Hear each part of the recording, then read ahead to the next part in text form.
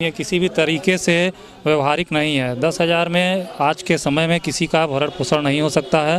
ये सरासर अन्याय है। सरकार अन्याय कर रही है। सरकार ये दिखाना चाह रही है अब कि आपकी योग्यता पैसों से निर्धारित होगी। जब पैंतीस सौ में हम लोग काम कर रहे थे तो उनके लिए योग्य थे। अब कह रही है, आप योग्य नहीं हैं। ये कैसे हो सकता है?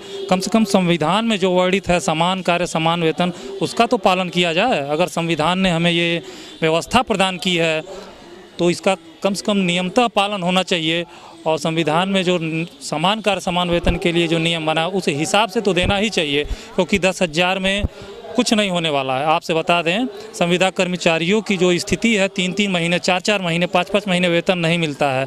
अगर कोई भी शिक्षक दस किलोमीटर, बीस किलोमीटर, तीस किलोमीटर दूर जाता है अपनी गाड़ियों से तो निश्चित रूप से उसकी गाड़ियाँ उधार के पेट्रोल से चलती हैं। न कि वेतन से। इसलिए ये कहीं से भी व्यवहारिक नहीं है, ये अन्याय है। जैसा कि पिछली गवर्नमेंट ने शिक्षा मित्रों का समायोजित अध्यापक, सहायक अध्यापक पद पर किया गया था, जो हम लोगों का जो वेतन अड़तीस हज़ार रुपये मिलता था, आज सुप्रीम कोर्ट ने उसको समायोजन को निरस्त कर दिया और आज जो वर्तमान सरकार है, आज दस हज़ार रुपया मानदेय देने की बात कर रही है। ऊपर से ग्यारह हज़ार रुपया मान, ग्यारह महीने देने के लिए सहमति बना रही है। इस पर हम सभी शिक्षा मित्र सहमति नहीं है। हम लोग सरकार के विरोध जाएँगे, कोर्ट के विरोध जाएँगे, अपनी लड़ाई को आगे जारी रखेंगे।